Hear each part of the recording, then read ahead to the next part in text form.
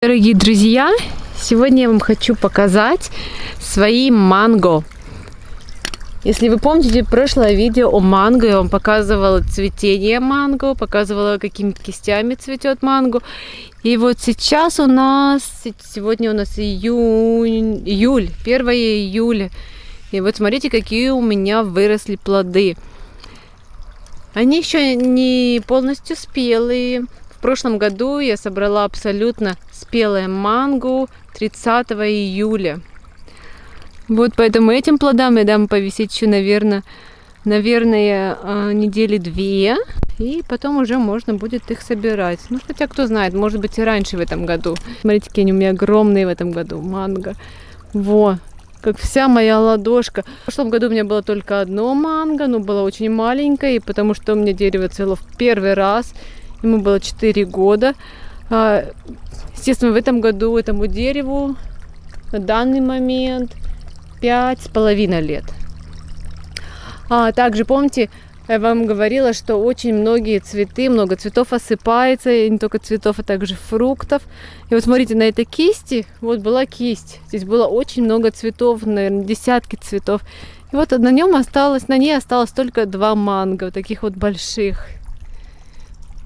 На остальных кистях я смотрю только по одному манго.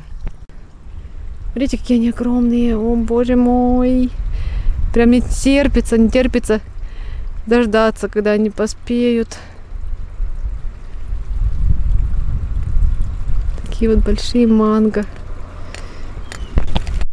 Вот, о, к сравнению вам покажу. Вот в прошлом году у меня манго было, наверное, вот такое вот. Оно было очень-очень вкусное, абсолютно без клетчатки, очень сочное.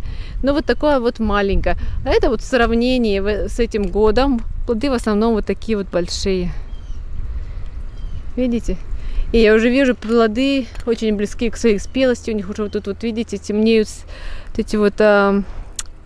О, боже мой, забыла, как называются. Неважно, веточки.